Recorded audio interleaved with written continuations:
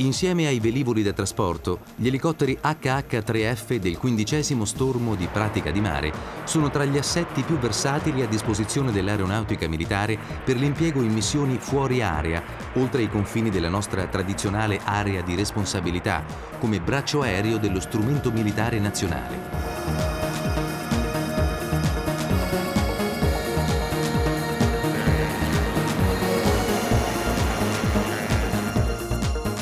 Lo dimostrano le oltre 4.000 ore di volo effettuate dagli HH-3F, che dal giugno 2003 sono rischierati in Iraq nell'ambito del sesto ROA, reparto operativo autonomo, un assetto joint inquadrato nel contingente italiano e formato da personale ed elicotteri dell'aeronautica e dell'esercito e che impiega anche i velivoli a pilotaggio remoto Predator.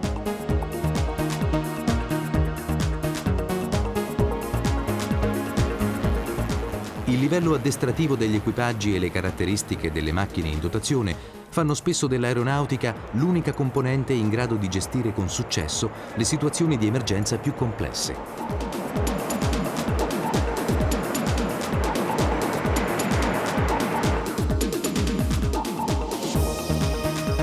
grazie all'effettiva e generalizzata capacità di impiego di giorno, di notte e in condizioni meteo marginali, con l'utilizzo di ausili frutto della tecnologia più avanzata come i visori notturni,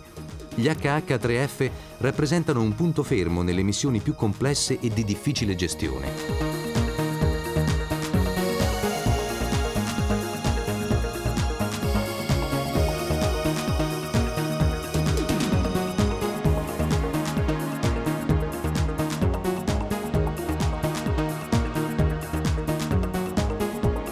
Con l'aggiornamento degli equipaggiamenti degli elicotteri, ormai da tempo i reparti montati su HH3F hanno sviluppato una notevole capacità combat SAR molto apprezzata anche in campo internazionale e alleato.